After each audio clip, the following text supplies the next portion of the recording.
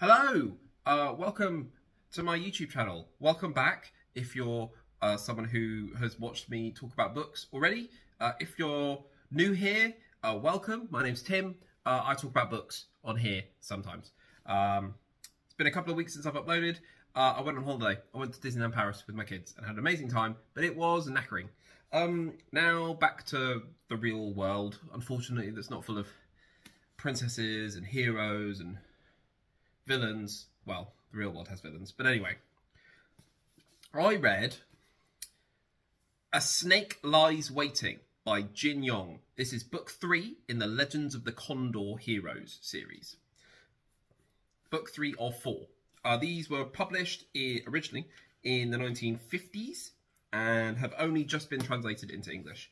Uh, these are, it's called wuxia uh, novels, and it's all about kung fu. Think Crouching Tiger, Hidden Dragon, think House of Flying Daggers, that kind of thing.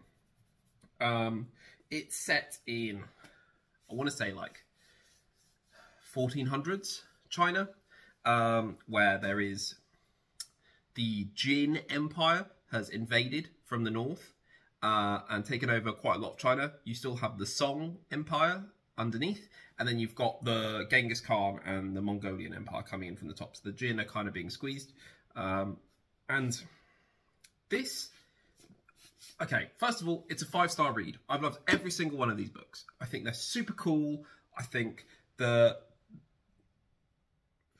the prose style is very quite classic. Um, and I love how they describe the kung fu because it's all about learning different moves. And it's like, oh, I countered that with this move. And your mind can help fill in the blanks. Um, and these guys are wushu masters and they could do crazy things. Um, this is definitely the most filler book, though. This is definitely a book three or four. Um, usually that means that it's just setting things up for the finale. And I still have, and that's usually quite telegraphed. Um, but this, I still have no idea where it's going to go, and that's one thing I really like about it. So let me, uh, we we follow our main character, Guo Jing. Um, the end, again, the blah, blah, blah, blah, blah, blah, blah, blah. These all follow on. These are, it's one story told in four volumes rather than four distinct books. This picks up exactly where the last book went off, uh, goes off.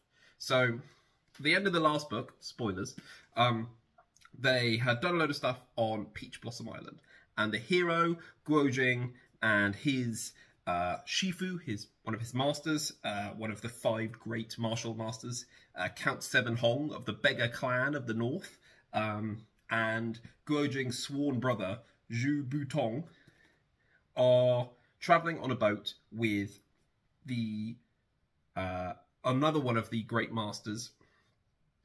No, no, no. They're on a boat trying to cat chase after other people on a boat. But anyway, the boat is on fire. The boat is sinking, and immediately there's a huge kung fu match between two of the great martial masters in the world the Beggar of the North and the Venom of the West.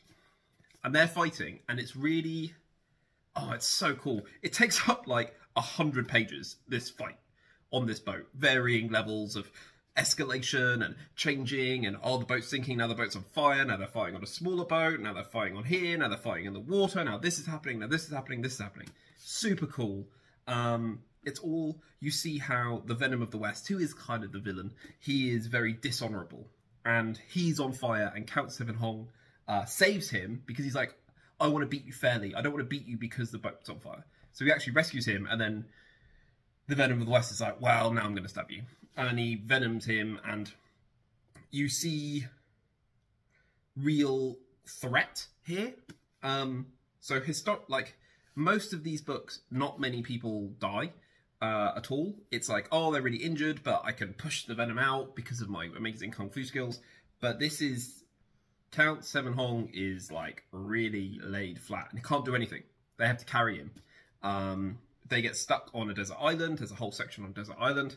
Uh, and then, so that takes up quite a lot of the book. Eventually they get off the desert island and they end up, you end up everyone back in Ox Village, which is this tiny little village where Guo Jing was born.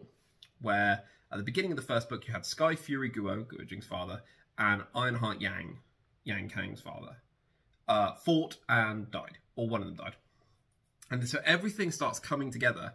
Here, you see, it's a, like, if it wasn't written in this kind of classic mythic style, you'd think this is stupid. Why are all of these people in this tiny town at the same time? But because of the style of it, you just you just go with it. You're like, this is this is myth. This is ancient stories. This is how it would happen. Um, so you then end up with about 250 pages of uh, Guo Jing and his love, the love of his life, Lotus Huang, having to do this meditation for seven days and seven nights, and they can't be disturbed, otherwise they both might die because of kung fu reasons. Uh, and they just hear these people come into this tiny little inn over and over and over again, and then they fight, and then these people fight, and then these people fight, and it's bringing people back from book one. It's bringing and so many characters come in, and the kung fu there is crazy, and people fall in love whilst kung fuing um, against each other, and then they join in team to fight other people. It's just, it's super cool. It's super cool. Um, and in the end, they kind of resolve this. And one thing that I said in my last review for A Bond Undone, book two, is I really wanted to see what happened to Yang Kang, the person who was the sworn brother of Guo Jing, but was raised by the Jin prince. So he's he was raised by the bad guys. And they adopted him and they raised him. And then he found out he was actually the son of a good guy. I'm going to say good and bad. Who knows? Um, the book makes you think the Jins are bad guys. Uh, and it's like he makes a choice. Do I go with my adopted father who raised me and gave me lots of really nice things and I can have power and influence and live in a palace and rule the land? Or do I go with my birth father who was someone I didn't know and put me in this position of swearing me to be a brother of someone I don't know and I don't agree with, uh, but it feels like it's the right thing to do. And that was really interesting dilemma in book, the last book. And he chooses. He chooses the luxury. He chooses to be a prince. And I thought they'd be a bit more like, oh, what's going on?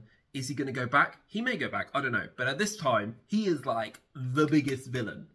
And it's great. It's really good to see them like doing all of these despicable things. He's a great villain. He's really he's so good, and he just uses his words and the pure confidence of coming from wealth uh, to be able to just blag his way. And he, um, and his kung fu is good, but nowhere near as good as anyone else's. So he, as soon as the fighting starts, he gets found out very quickly.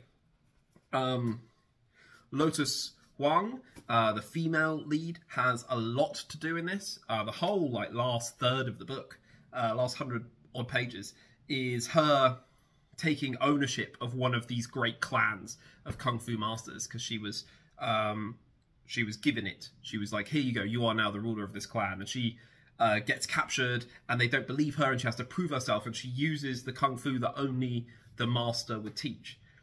Um, and super, it was so cool. Um, and then you have Guo Jing is uh, more in conflict, in crisis, because he loves Lotus Huang, but he has made uh, an agreement with Genghis Khan to marry his daughter. Uh, and this comes back in this, and Guo Jing makes a decision because he is. he's very. We know three things about him. He's very good at kung fu. He's not very bright, and he is full of honor. And so he does the honorable thing, even though that makes him miserable. Um, so we'll see where that comes because he has put himself into a position that he didn't he doesn't want to be in. No one wants him to be in that position. But he does because that's what he promised and he delivers what he promises. Um so yeah, I love I love everything in this. Um I as I said I gave it 5 stars. I could see why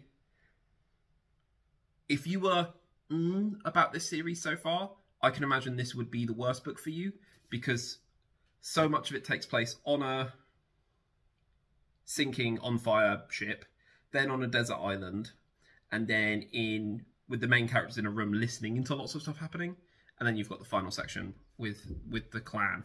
So you're thinking like, oh, it's a bit silly, it's a bit ridiculous how all these people come together. Um, a bit like how people complain about that with Les Mis, how everyone just keeps bumping into each other. Um, it's like that.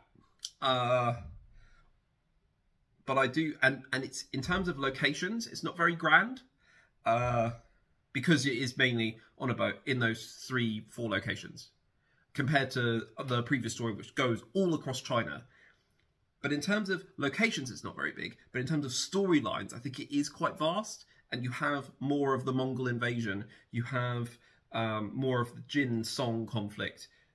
Uh, you have a character who was introduced in the last book and was like a novelty funny character and now is really dangerous and you find out why that is which i thought was very cool and you have the the love triangles convoluted romance mess so yeah um i've got one book left which is called a heart divided which makes me feel like i, I don't know i've got no idea how this is going to end no idea at all and i don't want to know until i read it and it's great uh i'll probably read that not this month. I want to take a bit of a break, read some other stuff, and then I'll try and read it by the end of the year because these you need to read really quick, close in succession. I even found with this, he was linking back stuff into book one, which I hadn't read for like three, four years, and I was like, who is that? But luckily, there's a big list of characters at the front um, to help with that. But uh, yeah, five stars for me.